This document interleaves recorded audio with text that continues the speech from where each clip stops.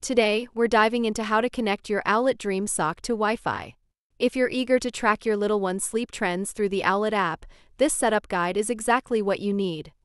To begin, make sure your Owlet Dream Sock base station is plugged in and close to your Wi Fi router, within about 10 feet. This will help ensure a strong connection during setup.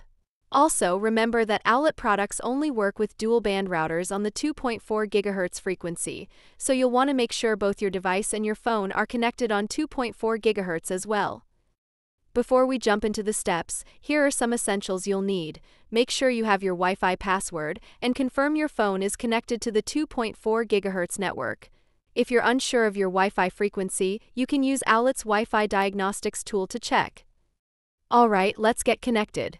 First, open the Wi Fi settings on your mobile device. Look for a network labeled something like Owlet XXX and select it.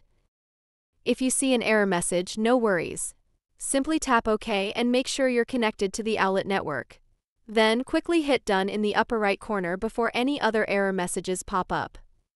Now, open a new browser window on your device and type in 192.168.0.1 in the search bar, then hit Enter. Once you're on that page, you should see a list of available Wi Fi networks. Find your home Wi Fi name and click Connect. When prompted, enter your Wi Fi password and hit Connect again.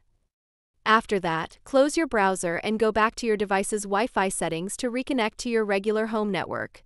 Once your Dream Sock base station has connected, the Owlet network will disappear. To confirm that everything's set up correctly, check the bottom of the Dream Sock's base station. If you see a green indicator light, you're all set, it's now connected to Wi Fi. And that's it.